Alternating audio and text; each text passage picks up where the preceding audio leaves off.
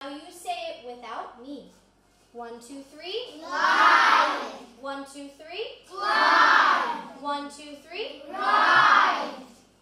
Për të dytin vit me radhë në shkollën fillore Marko Nuculloviq në Shtoj është duke u zhvilluar shkolla verore e mësimit të gjuhës angleze. Suzana Tomash, udhëheqëse e projektit e njëheri dhe profesoresh në Universitetin e Michiganit, u shpreh për televizionin Teuta se janë rikthyer përsëri në këtë shkollë si rezultat i suksesit të vitit të kaluar. Programi rezultoi shumë i suksesshëm vitin e kaluar dhe ne donim që ta hapnim përsëri për një grup të ri profesorësh nga Amerika, të cilët me padurim kanë pritur që të vijnë këtu dhe të praktikojnë gjuhën angleze, si dhe të takojnë njerëz të vendit. Mësueset amerikane janë duke u trajnuar se si të mësojnë fëmijët emigrantë në Shtetet e Bashkuara të Amerikës, por gjithashtu disa prej tyre kanë dëshirë që të udhëtojnë nëpër vende të ndryshme dhe të dinë se si t'ua mësojnë gjuhën angleze. Ajo çfarë mësojmë këtu është mësimi aktiv, çka do të thotë jo vetëm t'u mësojmë atyre gramatikën, por t'u mësojmë të folurën e përditshme, me qëllim që ata të mund të realizojnë projekte të ndryshme, si dhe të komunikojnë lirshëm. Silvia Marnikoviq, koordinatore e projektit, u shpreh se kjo shkollë verore, për nxënësit dhe për profesorët e gjuhës angleze të Komunës së Ulqinit do të thotë shumë, sepse u ndihmon atyre në avancimin e mësimit të gjuhës angleze. Për nxënësit, përfitimi i parë është që kanë arsimtare të cilat flasin anglisht si gjuhë amtare e tyre, domethanë mujnë me ndigju dhe mujnë me me pas si edhe një gja tjetër që në Mal të Zi mësohet British English, anglishtja si flitet në Britaninë e Madhe.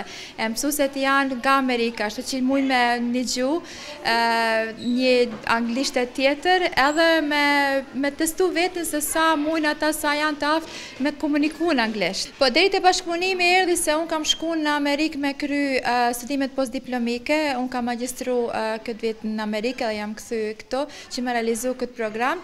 Erdhi se unë i njoftova profesorët e mi me shtetin, me vendin tem, me shkollën teme dhe ata panë këtë si një shans që të binë arsimtarët e veta, pasi që jena edhe vend në bregdetin, edhe t'i binë ata që të kalojnë një kohë këtu në Mal të Zi, që ta njoftojnë Malin e Zi një kulturë tjetër, edhe që aftësohen që me dhanë mësim në një kulturë tjetër. Pasi që ata napin mësim në Amerikë, por disa prej tyne kishin pas qef me dhanë edhe nëpër kontinente, nëpër shtete tjera të botës, ashtu që ish kjo një përvojë që mund të të shohin të testojnë vetin se si me dhanë mësim edhe një kulturë tjetër, një një nxënësa që nuk nuk e flasin anglishten si gjuhën e parë. Ashtu që kanë përfitime edhe arsimtarët që vijnë këtu që kalojnë dy dy javë se është një si avancim profesional për ta, po është edhe për nxënësat tonë normal se kanë shansën e parë që Kanë për arsimtare dikënd që e flet anglishten edhe njëqind për qind flitet anglisht në në klasë. Është interesante për nxënësit mënyra se si mësohet gjuha në këtë shkollë verore? Ashtu, këta gjatë këtyne dy javëve kanë nxënësat jonë kanë shans që të mësojnë anglishten edhe të jenë kreativ. Domethënë është diçka është një sistem që këta klasë janë bazu me një diçka që thirret project based learning, Çdo gjë që bëhet përfundon me një projekt, me një rezultat që ata me katër korrik, për domethënë javën tjetër n'të enjten, kanë me prezantu ata çka kanë mësu gjatë të dy javëve, ka me kenë ndonjë ndonjë vallëzim, ndonjë pjesë teatrale, diçka që kanë mësu. Domethënë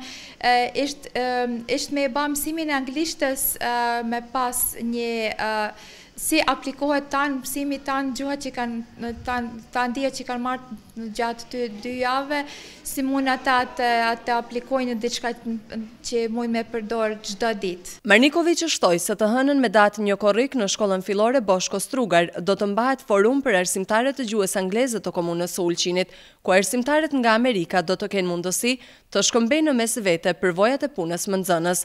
Shkollën Verore të Mësimit të Gjuhës Angleze po e ndjekin rreth njëqind nxënës.